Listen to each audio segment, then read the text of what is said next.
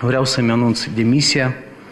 Consider că odată cu aceasta nu va exista suspiciunea că uh, ancheta sau tot ce s-a întâmplat s-a desfășurat corect, transparent și subiectul diplomii mele, de fapt, lipsit de importanță obiectivă în contextul situației economice actuale din Republica Moldova, va fi scos de pe ordinea de zi.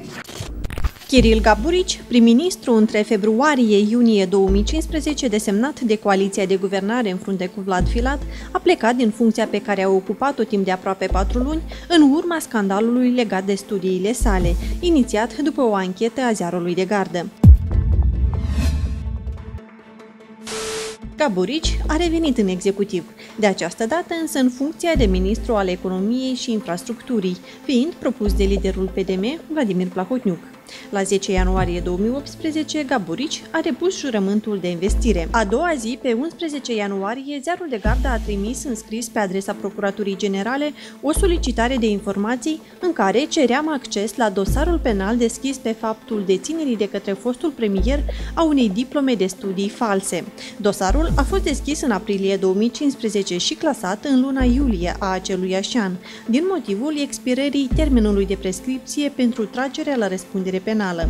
Ziarul de gardă a solicitat acces la materialele acelui dosar penal, dar și prezentarea unei copii a ordonanței de clasare a cauzei penale. Vineri, 2 februarie, în legătură cu solicitarea de informații, un reporter al Ziarului de Gardă a fost chemat în audiență la Igor Popa, adjunctul procurorului general al Republicii Moldova. Acesta avea dosarul lui Kiril Gaburici pe masa de lucru, însă i-a spus jurnalistului că nu-i poate oferi acces la materialele dosarului dosarului, pentru că în el se conțin date cu caracter personal. Igor Popa a cerut o nouă solicitare de informații, în care să adresăm mai multe întrebări legate de dosar, urmând să primim un răspuns detaliat, inclusiv cu declarațiile oferite de Kiril Gaburici în cadrul audierii pe marginea dosarului penal, dar și constatările procurorilor. Am trimis o nouă solicitare în adresa procuraturii, în care am cerut mai multe date concrete legate de dosar. Am primit, în schimb, un răspuns laconic. În procesul urmăririi penale au fost audiate mai multe persoane. A fost petrecută expertiza judiciară, acțiuni care în ansamblu au întărit suspiciunea în veridicitatea actului în litigiu. Deși a deținut funcția de premier timp de aproape patru luni, Kiril Gaburici nu a vorbit niciodată despre diploma sa de studii, chiar dacă a fost abordat de jurnaliști la majoritatea ieșirilor sale publice. Domnule premier, în baza cărui atestat, atestat de mm, școală generală ați fost admis la facultate? Mulțumesc uh, pentru, pentru atenție, dar asta este o zi mult mai importantă astăzi. Se ocupă deja organele de, de întrebarea asta. Când vor veni ei, atunci va fi mai clar. Deci am învățat în școala uh, Logănești, am învățat în colegiul de microelectronică Ulterior în colegiul de, de microelectronică. După care m-am transferat la ASEM, după care m-am transferat la Universitatea Slavonă și, și așa mai departe. Așa. Deci toate documentele sunt acolo la ei, ei iau toate documentele, le verifică, nu știu ce, ce, ce le verifică, după care vor ieși și vor face lumină tuturor. Deci nu există nicio diplomă falsă, nu, nu există, există nicio gaură? Eu nu știu despre ce diplomă vorbiți, deci tot ce am prezentat eu în CV-ul meu este, este adevărat și eu am pot să răspund la orice întrebare legată de CV-ul meu. Eu nu am ce să spun. Am fost citat, m-am prezentat, a fost o discuție Bun, am răspuns la toate întrebările și urmează dânsii să-și facă lucru mai departe. Eu uh, voi veni cu mai multe detalii la un briefing. Nici după ce a revenit în guvern, atitudinea lui Kiril Gaburici nu s-a schimbat. Abordat de ziarul de gardă, miercuri 7 februarie, înainte de începerea ședinței guvernului, ministrul a invocat că nu are timp, iar după ședință a fugit la propriu pe scările instituției, cu aceeași explicație. Mă grăbesc. Nu că Boris, îmi scuzați, putea câteva clipuri să ne răspundeți la câteva întrebări? Ziarul de gardă. Deja e oră 30. Dar după ședință ați putea? Nu, nu cred. Bună ziua, domnul Gaburici, de la Ziarul de Gardă. Vă rog frumos, dar spuneți-mi că noi am trimis o solicitare de informații. Cum am putea să discutăm pe dumneavoastră pe subiectul studiilor dumneavoastră? Noi studăm. Dar nu ne-ați răspuns absolut deloc la solicitarea de informații. Doar spuneți-ne cum putem să vă contactăm.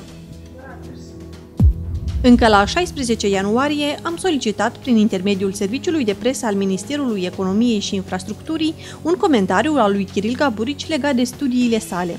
După două săptămâni de insistență, Veronica Tocarciuc, consultantă în Serviciul Informare și Comunicare cu Mass Media al Ministerului, a răspuns într-o singură propoziție. La întrebările legate de studii, domnul ministru a răspuns de-a lungul timpului. Deși am replicat angajatii din serviciul de presă că ministrul nu a vorbit niciodată despre teza sa de doctorat și nu a oferit vreodată o explicație despre cum a obținut diploma de BAC, mesajul a rămas fără răspuns. Nu vreau acum să... Când anularea N-am văzut. Salut. De ce nu comentați, domnule Gaburi? Păi cum se întâmplă mai departe cu diploma dumneavoastră?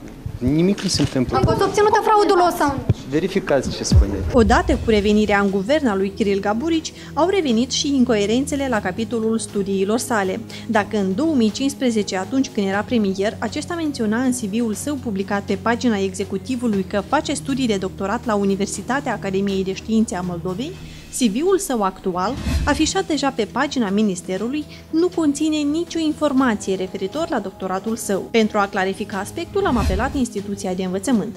Dintr-un răspuns înscris, am aflat că Kiril Caburici ar fi făcut studii de doctorat cu frecvență redusă, în regim de taxă, la specialitatea Economie și Management în domeniul de cercetare a Institutului Național de Cercetări Economice, între 1 noiembrie 2011 și 1 noiembrie 2015, dar că nu are titlul de doctorand, deoarece nu a susținut până în prezent teza sa de doctorat. Claudia Oltu, șefa secției Cercetare, Doctorat și Formare Continuă a Universității Academiei de Științe a Moldovei, susține că legea îi permite ex-premierului să susțină această teză timp de 10 ani după finalizarea studiilor.